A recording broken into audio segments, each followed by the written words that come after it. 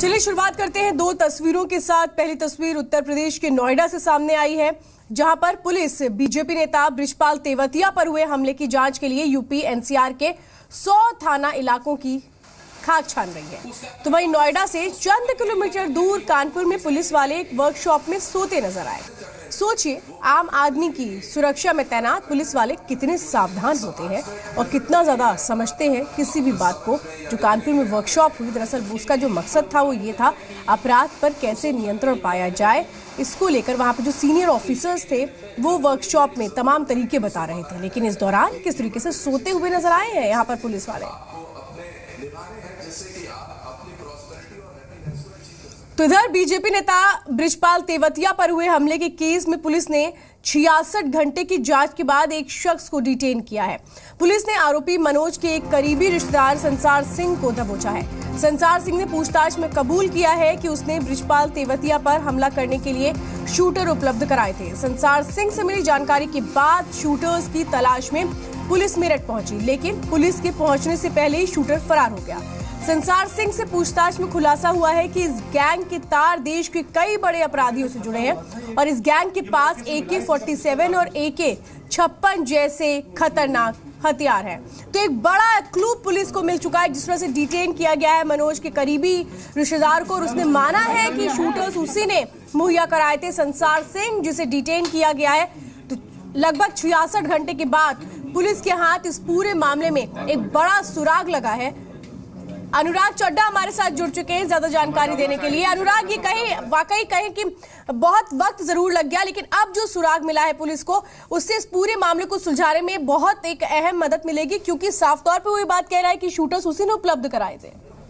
जी बिल्कुल, श्वेता, जिस तरीके से मेरे पुलिस सूत्रों ने इस बात की पुख्ता जानकारी दी है कि जो संसार सिंह नाम का ये व्यक्ति है, ये मनोज का एक करीबी रिश्तेदार है और ये बखूबी जानता था कि जो शूटर्स थे वो कहाँ से आए थे और उन शूटर्स को दिलाने में इसकी अहम भूमिका थी। ऐसा पुलिस सूत्रों के हवाले से जानकारी मुझे मिली है। हालाँकि औपचारिक तौर पर अभी गाजियाबाद पुलिस ने इसकी गिरफ्तारी नहीं दर्शाई है, लेकिन जो जानकारी संसार सिंह से पुलिस को कल शाम को मिली थी माफ़ कीजिए अभी सुबह मिली रात को मिली थी उसके बाद मेरठ में कई जगह दबिश दी गई लेकिन अभी तक पुलिस के हाथ में वो जो असली शूटर्स हैं घटना को अंजाम देने वाले वो पुलिस के हत्थे नहीं चढ़े हैं।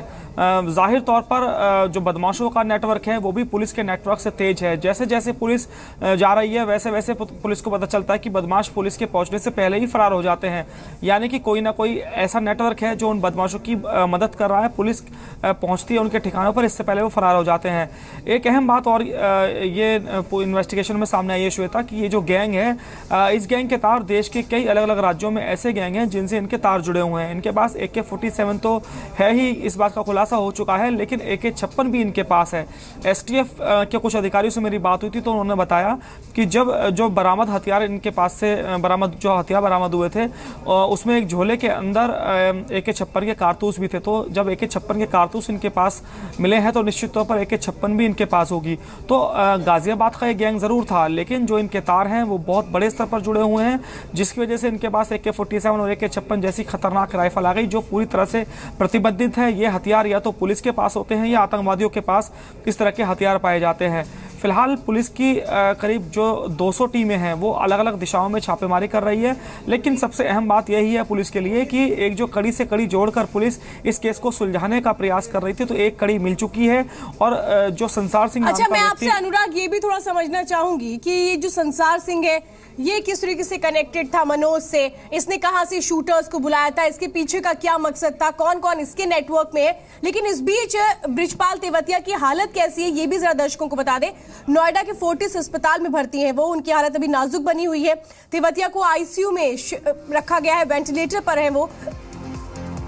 डॉक्टर्स की टीम लगातार उनकी हालत पर नज़र बनाए हुए है। तो बीते गुरुवार की शाम गाजियाबाद के पास मुरादनगर में तेवतिया की एसयूवी गाड़ी पर ए 47 से 100 राउंड गोलियाँ बरसाई गई थी। तेवतिया पर हमले की जाँच कर रही पुलिस ने जाँच का दायरा और बढ़ा दिया। तो तेवतिया के हमलावरों को पकड़ने के लिए पुलिस की 10 टीमें बनाई गई, जिनमें 200 पुलिसकर्मी शामिल हैं। तो गौतम बुद्ध नगर गाजियाबाद, बागपत, बुलंदशहर और मेरठ पुलिस समेत एसटीएफ बदमाशों की तलाश में जुटी है। पश्चिमी यूपी और एनसीआर के करीब 100 थाना क्षेत्रों में दबिश दी जा रही है। और अनुराग भी हमारे साथ है। अनुराग, मुझे बताइए कि किस तरीके से मनोज के साथ कांटेक्ट रहा संसार सिंह का? कहाँ से इसने शूटर्स को हायर किया? किस तरीके से ये नेटवर्क काम करता है? क्या कुछ इसके पास से और जानकारी मिल पाई है? देखिए श्वेता, ज़्यादा जानकारी तो पुलिस के अधिकारियों ने अभी तक मुझे नहीं दी है, लेकिन इतनी जानकारी दी है कि जो संसार सिंह नाम का ये व्यक्ति है, इसको रात के वक्त पुलिस ने अपनी हिरासत में लिया था।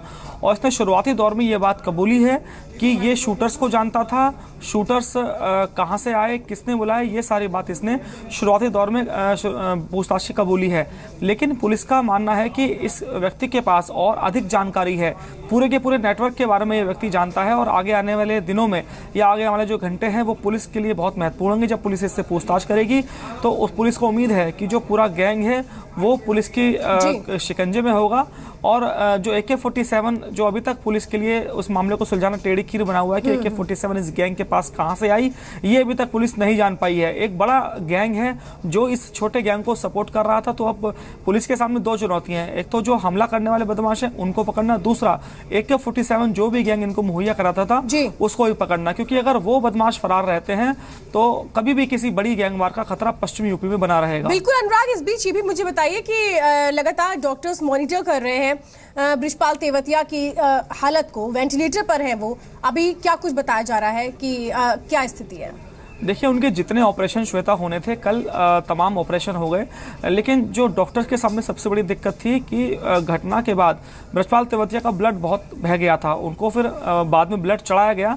लेकिन ब्लड चढ़ने के बाद एकदम से बॉडी एक्सेप्ट नहीं करती तो वो सबसे ज़्यादा परेशानी आ रही थी। इसके अलावा उनकी बॉडी में जो गन शॉट्स थे उनसे मल्टीपल इंजरी हो गई थी जिसकी वजह से उनकी हालत और ज़्यादा नाजुक हो गई है। हम्म। डॉक्टरों ने कहा है कि जो उनके लिए चौबीस घंटे बहुत महत्वपूर्ण होंगे। उनमें से करीब दस बारह घंटे तो अब बीत चुके हैं, जो आगे आने वाले बारह घंटे और होंगे, वो उसमें ब्रजपाल तेवतिया अच्छी अगर रिकवरी करते हैं तो डॉक्टर्स का कहना है कि उनके बचने की पूरी उम्मीद है। उनकी हालत फ़िलहाल काफ़ी गंभीर डॉक्टर बता रहे हैं। जी चलिए अनुराग अपडेट हम आपसे लेते रहेंगे। जानकारी देने के लिए बहुत बहुत धन्यवाद। तो गाजियाबाद में बीजेपी नेता ब्रिजपाल तेवतिया पर हुए हमले के केस में आरोपियों की गिरफ्तारी के लिए पुलिस ने दिन रात एक कर दिया है। तो दूसरी तरफ़ कानपुर में पुलिस वाले एक वर्कशॉप में सोते नज़र आए। महिलाओं के खिलाफ बढ़ते अपराध को लेकर पुलिस ने एक वर्कशॉप को आयोजित किया था कानपुर जोन के आईजी जकी अहमद खुद इस वर्कशॉप में मौजूद थे। तो आईजी पुलिस वालों को सतर्कता का पाठ पढ़ा रहे थे, लेकिन पुलिस वाले वर्कशॉप में सोते नज़र आए। तो कैसे अलर्ट रहा जाए, ये बताया जा रहा था, लेकिन कितने अलर्ट इस दौरान थे पुलिस वाले, इन तस्वीरों में ही दिखता है समाज में डिफरेंट तरीके के अपराध समझ में या देखने में आते हैं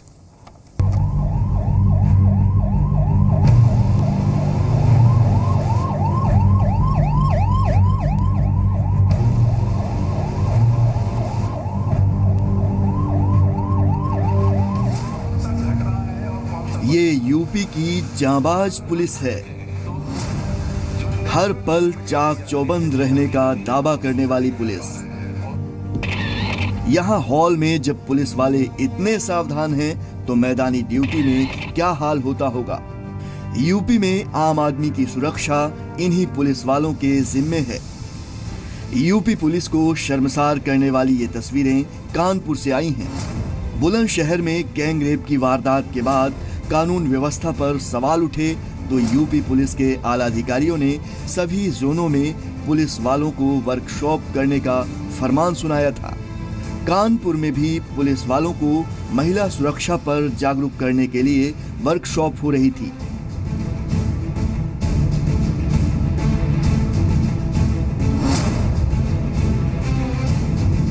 ज़िले भर के पुलिस वाले यहाँ पहुँचे थे। आला अधिकारी मंच पर मौजूद थे। अधिकारी पुलिस वालों को महिला सुरक्षा का मंत्र दे रहे थे। लेकिन खचाखच भरे हॉल में बैठे इन पुलिस वालों को देखिए।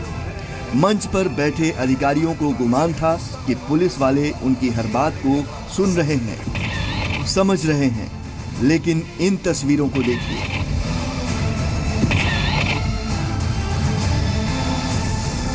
देखिए कैसे वर्कशॉप में पुलिस वाले झपकी ले रहे हैं, अपनी नींद पूरी कर रहे हैं। एक दो नहीं, ऐसे कई पुलिस वाले थे जो वर्कशॉप में अपनी नींद पूरी कर रहे थे। शायद इन पुलिस वालों को महिला सुरक्षा जैसे संवेदनशील मुद्दे से कोई लेना देना नहीं।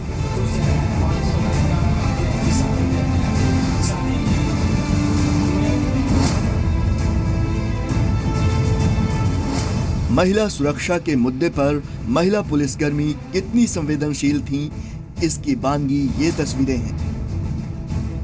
देखिए कोई मोबाइल पर गेम खेल रहा है तो कोई अपने दोस्तों की फ़ोटो को निहार रहा है। सोचिए अगर अधिकारियों के सामने पुलिस वाले इतनी संजीदगी दिखा रहे हैं तो मैदान में क्या करते होंगे? ऐसे ही लापरवाह पुलिस वालों को जगाने के लिए सूबे की सरकार ने सभी जिलों में महिला सुरक्षा पर वर्कशॉप करने का आदेश दिया है। सोचिए, आखिर इस वर्कशॉप का क्या फ़ायदा? महिलाओं के प्रति बढ़ते हुए अपराध को लेकर के पुलिस विभाग चिंतित है और कार्रवाई लगातार इसमें की जा रही है। जो कमियाँ हैं, उन्हीं कमियों को हाईलाइट करके उसमें और प्रभावी कार्रवाई करने के निर्देश देने देने के लिए आयोजन किया गया है। सवाल ये कि अगर पुलिस वालों का रवैया ऐसा ही रहा तो क्या ज़मीन पर महिलाओं की सुरक्षा हो पाएगी? सवाल ये भी कि क्या मंच पर अफसरों ने पुलिस वालों की ये करतूत नोटिस की? और सवाल ये कि क्या ऐसे लापरवाह पुलिस वालों पर कोई कार्रवाई होगी?